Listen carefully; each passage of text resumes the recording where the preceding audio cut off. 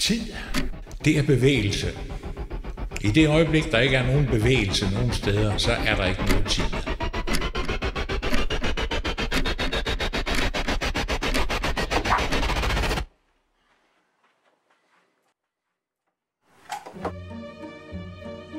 Tid for mig personligt, altså tiden, den er bedøvende ligegyldig. Altså, jeg kan sidde her om aftenen, jeg kan sidde her lørdag og søndag, som sådan en eller anden tirsdag, hvor der kommer en flok for vildt mennesker, og du ved godt, så kan jeg lade være med at arbejde, ikke? Øh, så, altså, det er ikke sådan, at jeg skal. Det, der fascinerer mig mest ved uger,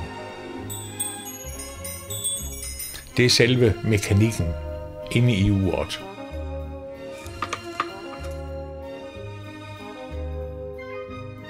Det, jeg husker allerbedst og aller tydeligst fra min læretid, det var min gamle faglærer på Urmagerskolen.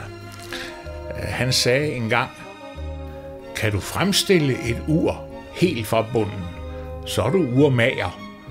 Kan du ikke det, så er du urreparatør.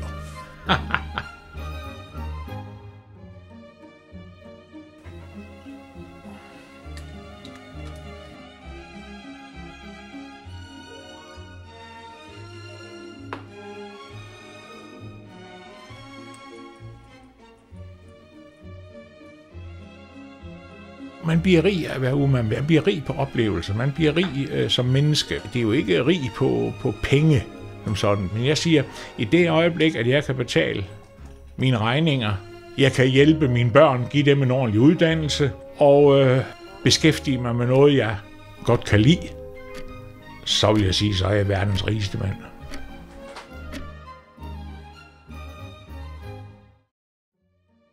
Thank you very much. Bye bye.